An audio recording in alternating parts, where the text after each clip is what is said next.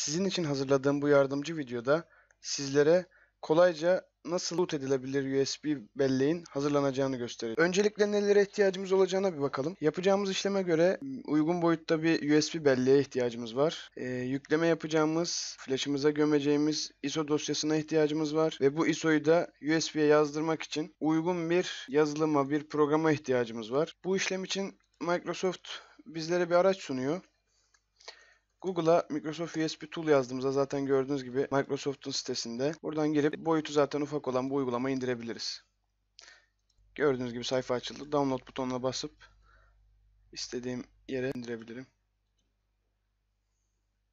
Gördüğünüz gibi 2.5 MB kadar bir boyutu var. Uygulama indi. Hemen çalıştırıyorum. Uygulamamı yüklüyorum.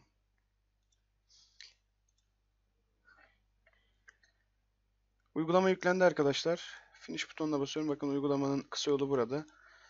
Ee, uygulamamı yönetici olarak açıyorum. Gördüğünüz gibi böyle ufak bir uygulama. Gayet iş görüyor. Şimdi bu işlem için ayırdığım flash belleğimi bilgisayarıma takıyorum. Browse bölümünden e, gömmek istediğim ISO dosyasını seçeceğim şimdi. Yani Windows 8 yine Microsoft'un sitesinden indirebilirsiniz. Aç diyorum. Next diyorum. E işte burada gördüğünüz gibi iki adet seçenek var. E, biz USB device seçeceğiz.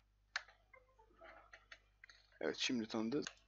USB device bölümü tıklıyorum. E, sürücümüzü gördü. Tekrar bakalım. Evet. Begin copying seçeneğine bastığım zaman e, kopyalamaya başlayacak.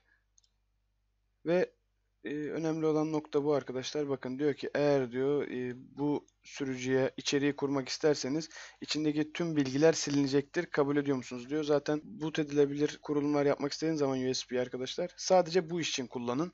E, başka dosyalar atmaya çalışmayın. Çünkü bir image yüklüyor ona e, ve bu şekilde kullanabiliyorsunuz. Sil diyorum USB sürücümdeki her şeyi. Bu seçeneği seçiyorum. Evet eminim ve formatlama işlemi başlıyor. Biçimlendiriyor şu anda flash belleğimizi. E, Bu işlem biraz uzun sürebilir. Kopyalama işlemi sona ermek üzere.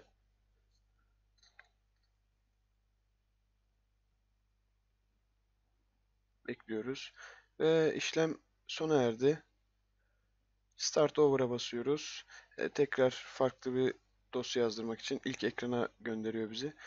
Uygulamamızı kapatıyoruz arkadaşlar. USB sürücümüz hazır. Boot edilebilir. Gördüğünüz gibi dosyalar burada.